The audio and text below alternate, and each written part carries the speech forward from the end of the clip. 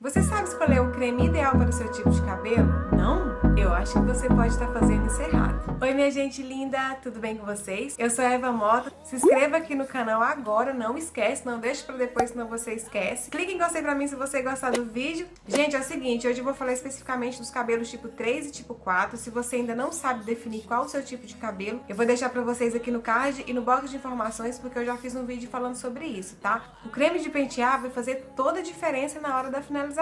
O cabelo tipo 3 e o 4 são divididos em A, B e C. Qual o creme ideal para o cabelo tipo 3? O creme ideal para o cabelo 3A é aquele creme de consistência mais leve. O seu cacho não vai ficar com aquele aspecto pesado, sabe? Vai definir e vai ficar leve. Se você quiser uma definição mais power, é só você acrescentar gelatina ou gel na finalização que vai ficar ok. Agora, para os cabelos tipo 3B e 3C, que é o meu, é necessário um creme de pentear mais consistente e mais hidratante, porque o nosso cabelo ele tende a dar mais frizz. Escolhendo esse creme mais consistente, o seu cabelo vai ter muito mais definição. Se você quiser abusar e deixar o cabelo mais leve, nada impede de você usar um creme levinho, desde que você queira um cabelo com mais volume e sem definição. Às vezes, eu tenho cabelo tipo 3, mas eu quero sair com ele mais armado, então eu vou usar um creme bem leve, aquele creme usado lá no tipo 3A, sabe? Mas no dia que eu quero muita definição, eu vou lá, pego aquele creminho, como se diz, mais consistente, né? Que eu vou poder abusar mais da definição. Saiba aproveitar os benefícios que cada creme de pentear tem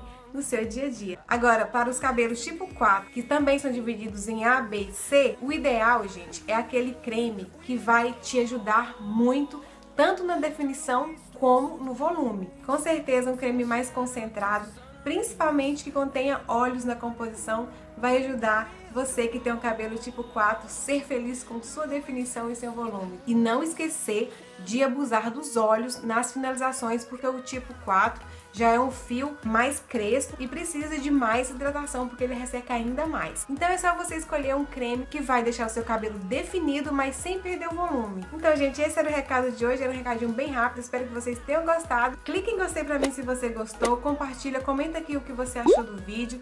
Se inscreva no canal, ative as notificações, eu espero você no próximo vídeo, tá? Fiquem com Deus, beijos, tchau!